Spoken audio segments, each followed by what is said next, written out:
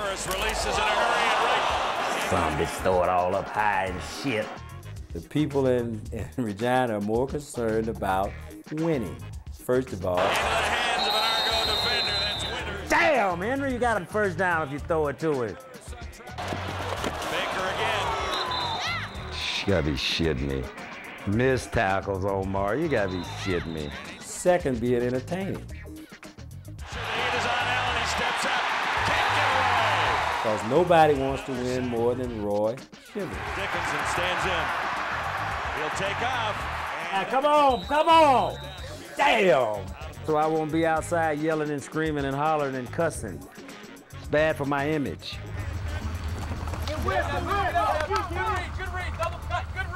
Come on, step to him. Shout a receiver. Get to know Roy Shivers, and you quickly realize he's not all about making a good impression. He's about doing the right thing and doing whatever it takes to bring the Grey Cup home to Saskatchewan. Hey, Henry, you throw through lanes. Throw through lanes sometime. Through lanes. His style is hands on. Wait, get your hands up, Scott. Hey, uh, Rocky. Yes, sir. You know what they mean by throwing through lanes? Two lanes? Yeah. Yeah, I just gotta get that outside on. Oh, you throw through lanes a lot of times. You don't have to throw over the top a lot of times. You throw through here. They give you passing lanes. That's what's called passing lanes. He's up front and very personal. Listen, I want to get back to like 195. Mhm. Whatever you was playing at last year, that was the weights and stay there. And watch what you eat. Quit eating all that McDonald's and all that. You ain't got no girlfriend up here who can cook for you and stuff? Not yet. She can't cook? I know you got one. Don't give me that not Uh, yet. I ain't got one. I ain't got one. Shivers took over as general manager of the team five years ago, but this season has been especially trying. The team got off to a slow start. Don't run the ball. Don't run it. The Rough Riders are in the playoffs, but it's been 15 years since they've gone all the way. Sure, the challenge of turning the team around, making them champions, is why Roy Shivers came here. But when he was offered the job in 1999, Roy Shivers saw it as a chance to open doors. And all the decisions that have been made have been made by somebody else about us. So now, finally, in the year 2000, Roy Shivers is in a decision-making uh, position. So I go, okay, now I'm gonna play it just like you played it. Okay. One, two, and and.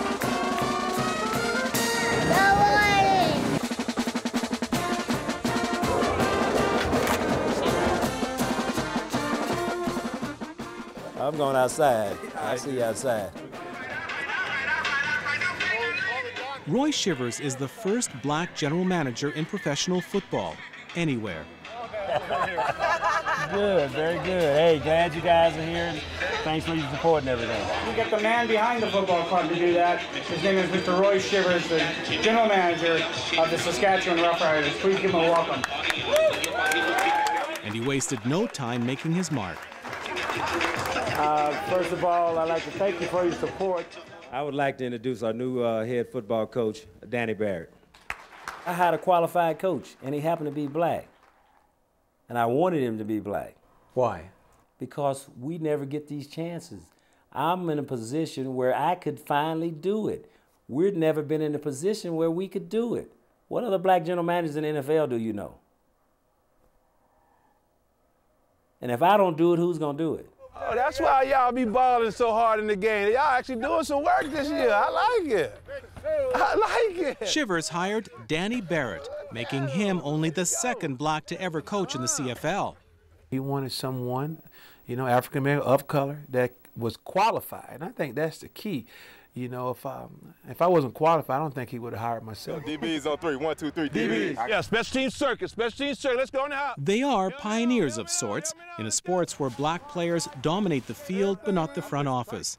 Roy Shivers and Danny Barrett are the first black GM coach duo in the CFL, and for that matter, in the NFL. making history, you know. Black GM, you got a black head coach. This is history in the making. What does that mean for you? Oh man, that's tremendous. Cause if you thinking, how long has football been around? Long time. Football's been around a long time, and he's the first one. The first one.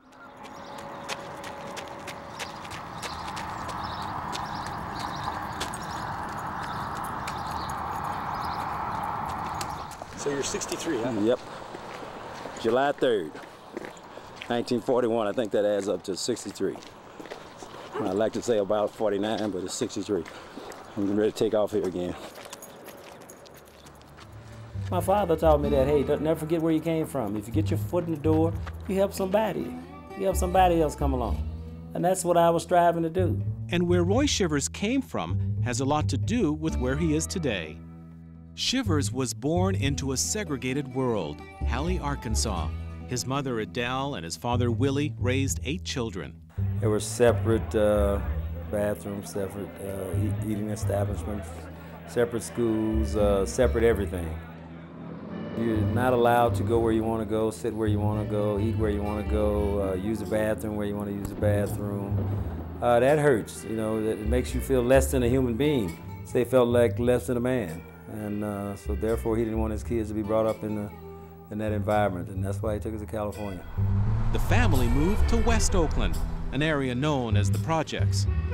We were segregated mostly by economic means, a community of a lot of people that knew each other from the South. It was a segregated community because the only people that lived in this housing uh, projects were blacks and uh, Chicanos at the time. In America, being black in the 50s meant there were few places to play sports for kids. In West Oakland, there was only one place, DeFremery Park. The park is still special for Shivers. He returns often to hang out with his childhood buddies. Uh, this was probably, say, our Mecca. This was like Harlem to us, the Renaissance thing. This was where we'd come to, to compete. Compete and be inspired. Now watch this throw here. Now watch this throw, right? Fake to the left throw to the right. This park was a second home to some of the most famous athletes and activists in modern U.S. history. There was Frank Robinson, first black manager in baseball history, Bill Russell, the first black coach in professional basketball. Early this morning, Los Angeles police moved on the local Black Panther headquarters to serve arrest and search warrants. Then there were the activists. The Black Panther Party was born at DeFremery Park. Young blacks who took up arms during the height of the civil rights movement. Blacks who were seen as a symbol of defiance during the turbulent 60s. Among the founders, Huey Newton, Bobby Seale, David Hilliard, and Shivers knew them all. And Roy was always an outspoken man, be it a general manager who will, you know, take control of the situation and uh, and and not bow and and uh, and who will go outside the box. Yeah, yeah. It's Sam Hey, Sam joint. Hey, what's up? Hilliard has never left this area of Oakland. Well, Roy it was, uh, you know, a part of our, our upbringing, and socially, we, you know, we we were all together.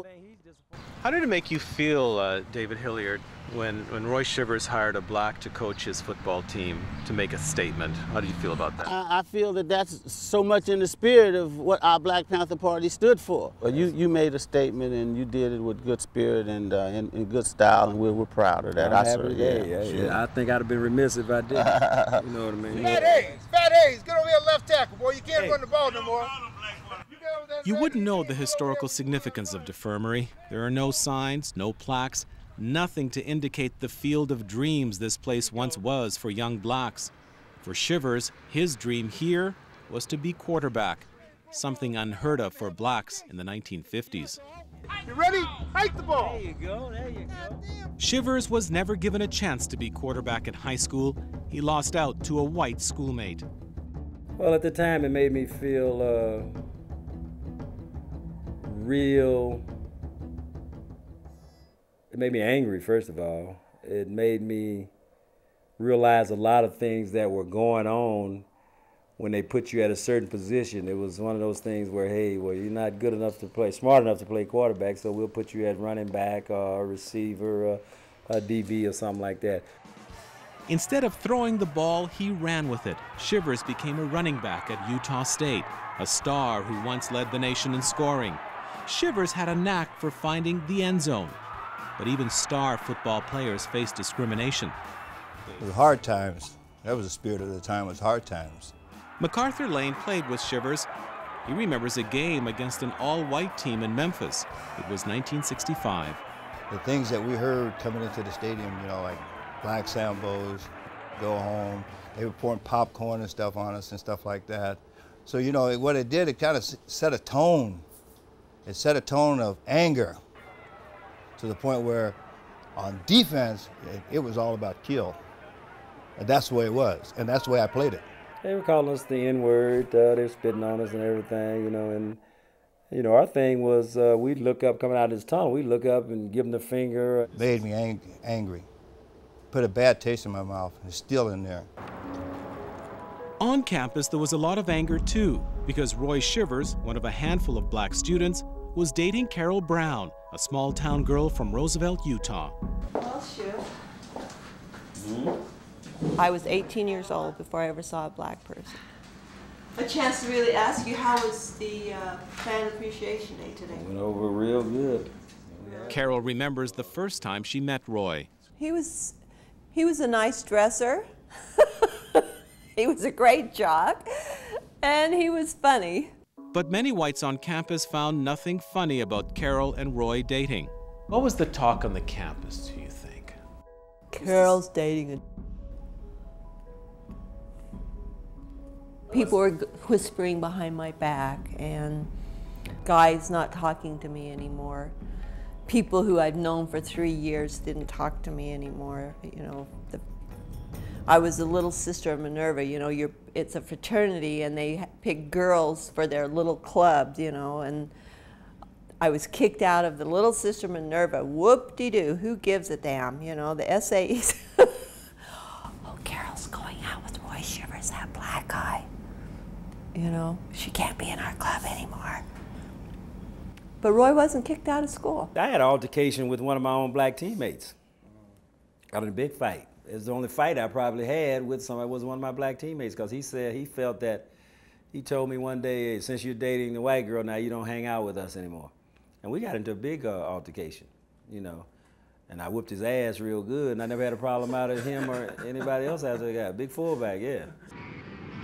Despite objections on all fronts, Roy and Carol eloped in 1966. They got married in Las Vegas. Meanwhile, Shivers continued with football.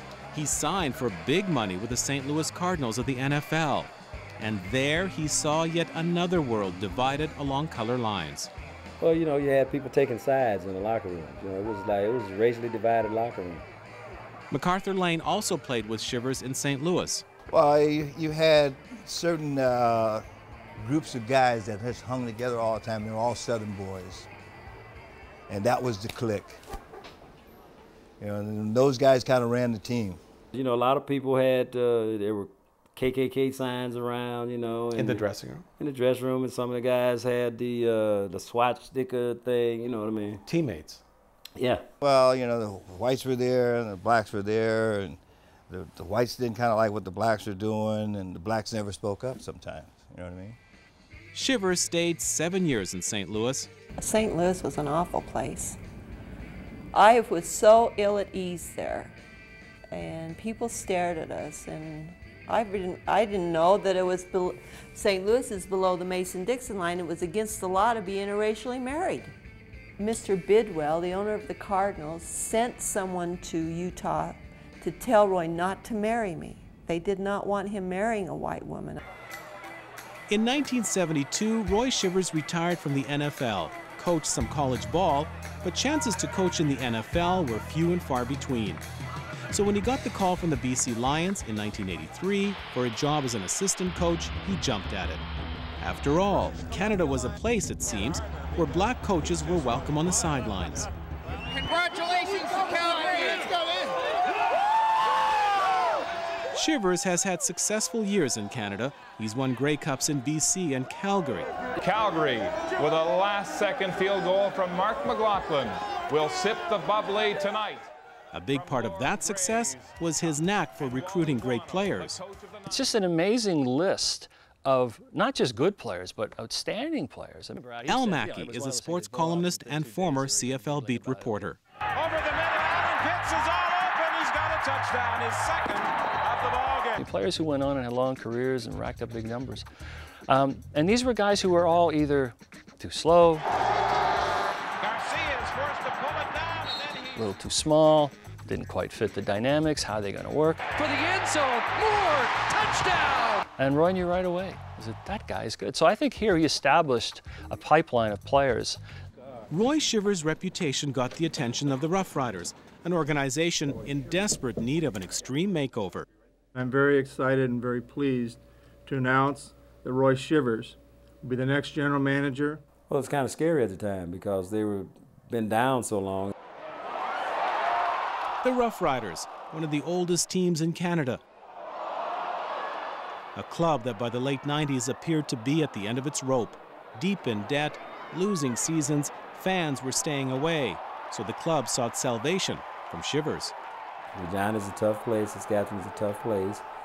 And, uh, you know, I'm looking at the roster and I'm like, holy cow, this takes for a revamp, a whole revamp. I accepted the challenge. I wanted the challenge to see if I could do it. So, hey, it was a no brainer as far as I was concerned, even though it was in Regina and stuff, you know. I would like to go 18 and 0, but I know that's not possible. But we're going to be a competitive, good football team. First of all, let me say I'm happy to be here. And I phoned him and said, Roy, um, I'd like to schedule an interview, bring you into Saskatchewan and sit down with our selection committee. So we set up a time and a day. I said, how am I going to recognize you? Because I'd never met him. Didn't know who he was. He just, he just laughed. He says, I'll be the only black guy in the plane. So um, I, did, I didn't know he was black. Yeah. I had no, Yeah. so I, the, the, the standing joke between him and I is I didn't know Roy Shivers was black. You know? And there was another thing the organization did know about Roy Shivers. Now that he was calling the shots, he was going to shake things up. When I came in this league in 83, myself and Gene Gaines were the only two black assistant coaches in this league. The only two in the league. Moon is so strong when he's running to the left side as a quarterback. First and 10. But on the field, the CFL was a refuge for African Americans, Boone ducks away from the initial charge. especially for quarterbacks who had to come north to play. Oh, that rush is on Ealey by Wayne Shaw. The Canadian Football League, uh, they think that it's been utopia up here for blacks. Chuck Ealey, probably the, well, I think he's the greatest rookie ever to play in this. because they let the black quarterbacks play. Okay, so they thought everything was hunky dory, but you open a door there, but you shut out the other door. What do you mean shut out the other door? The other, the coaching profession. You know, it's okay. Well, we've got, we've done our part with the black quarterbacks and stuff. Never thought about the black coaches and stuff. Never. Because he missed his check, he get his little. Shivers feels comfortable with an African American as his coach. He and Barrett understand each other. I was like, hey, this is that. Hey, what's so bad? Hey, this was gonna be funny. He father, he gonna be like, hey, he got all they gonna be saying. What's so bad? when they take the tax. I think there was a feeling that, oh, well, Danny was hired because he's black. Oh, and, and I, I don't think that was I'm saying anything out of turn here because I think there were a lot of those who wondered, you know, why. I guess Roy's feeling was, you know, I can argue this on a whole bunch of levels, but the point is, I think I can win with this guy. Well, what are people afraid of when they see a a black very good person applying for a football job? That's a very good question. You tell me. I mean, or, or let the guy that's, that owns this team tell me why he didn't give this guy the job. It's because you can go in and project yourself better verbally or something than this guy, but this guy is a better X and O and, uh, guy than you or whatever. What, what is it? What is it? What's the criteria? Is it written in uh, in in, in uh, form where if he doesn't do this or say that, he's not qualified for the job? You know, that's the same thing we're trying to find out. You know, it, uh, and I hate that old thing about, hey, you don't have enough experience. How the hell do you get experience? People have to give you experience. They have to give you the job. And like I said, I'm not making this a sports thing. This is everyday life, Carson. This is every, in every business. People of color were not treated fairly. You know, it's been well documented. And so anytime you try to get on an even playing field with, with the other race, you know, there's going to be some questions, you know. It's not fair, but life isn't.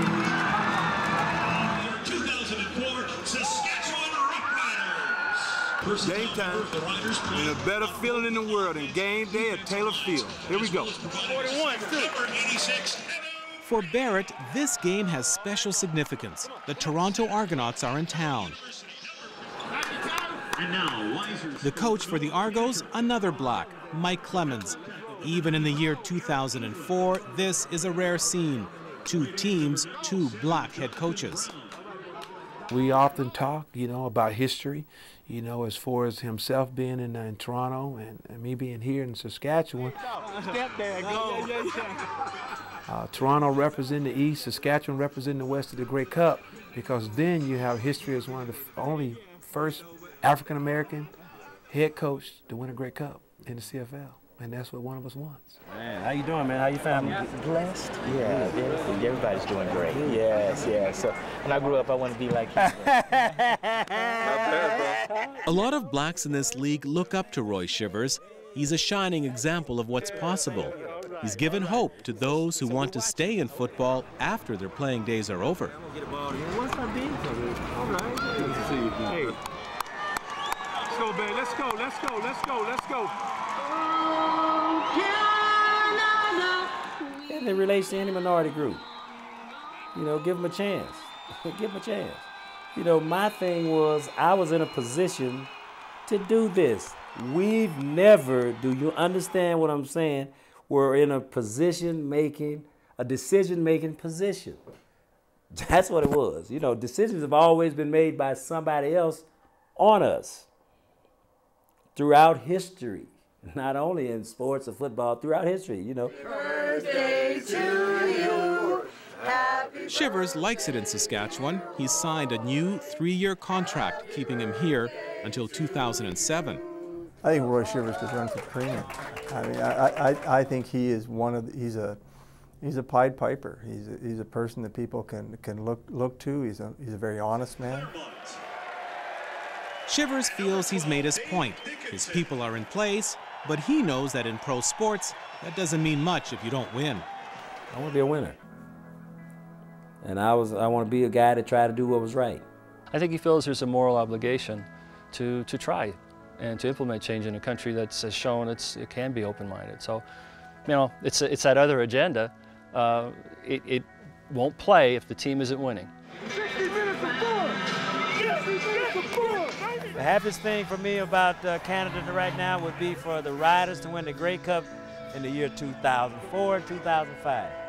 I'd be the most happiest man. I, would forget about everything else. I'd retire right off into the sunset.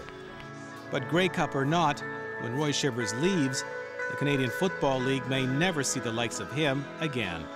But my legacy would read, well, he, you know, I like this Frank Sinatra thing. He did it his way.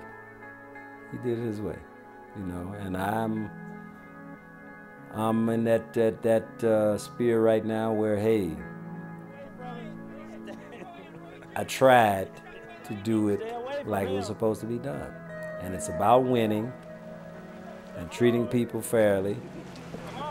And that's what I want to be. Hey, he tried to win, he tried to treat people fairly. For The National, I'm Costa Maragos in Regina. See you.